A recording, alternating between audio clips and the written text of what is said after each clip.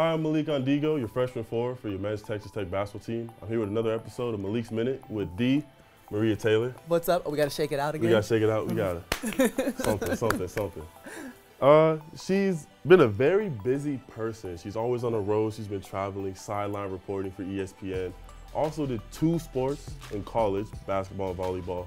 So what do you like to do in your free time? Because you've always been so like, mm -hmm. Everything's go, go, go. First of all, Malik, I would like you to understand that I work all the time and I've never had my own studio or graphic, so I'm a little jealous. And I heard you're only a freshman, so I feel some type of way about that, but that's okay. Um, always go, go, go, but the way that I release and have fun is go on trips, vacations. So one of my favorite trips was going to Australia. Me and my mom and some friends went, and I saw the Great Barrier Reef. So I've been scuba okay. diving, that which is kind of like cool. Finding Nemo, huh? It was like I found Nemo and Dory any other interesting places you've been able to vacation? Uh, I went to Portugal last season. Probably my favorite place to go or be is Italy, though.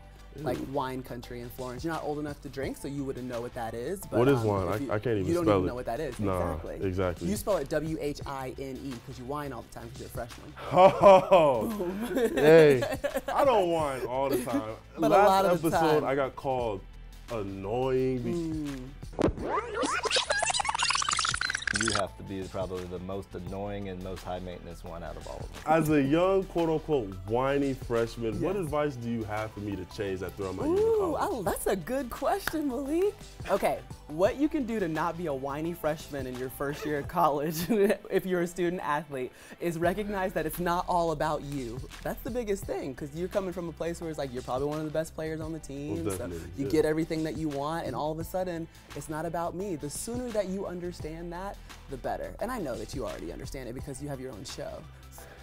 It actually is all about she, she, she, she said I got my own show, I got my own studio. She got her own makeup lady. I was getting a little touched oh, up hey, before Trish. the show. Yeah. Shout out to Trish. Shout out to Trish. I'm gonna leave you one more question. Though. You have an organization that you started. Can you explain that? Sure, absolutely. It's called the Winning Edge Leadership Academy, and it is all about helping women and minorities break into the sports industry.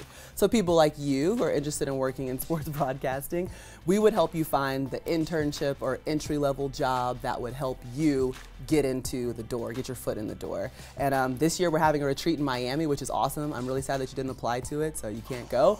But the plan is to have full-time mentors there, and we're gonna spend four days with student athletes during a time when they're actually free, mm -hmm. see what they're interested in, and see if we can help them uh, break down the barriers and build diversity in sport. So there's no way I could get in because yeah. I, I, got a lot of people begging to be on Malik's minute. Listen, I made sure oh, you had to be on it. Okay. So you can help me out to get to Miami. You know what? Because you have your own show, I might have to rethink this because I feel like I'm going to regret it later when you're like hosting TNT, you know, NBA on TNT coming or something you, one day. Coming for you. It's coming for you. Coming for you. Sheree, if you're watching this, I'm, I'm coming for your dad. Yeah. We'll talk to Matt Dunaway about this as soon as the camera stop rolling and see what we can do. Thank you so much for being on my show, Marie. It was such an honor. Uh -huh. you know, be in the presence yeah, of thank you for joining ESPN Malik's person. and Maria's minute. Look, I like how I'm I still the first. I, I, I, like how I'm still first, yeah. I can respect that. thank you for watching.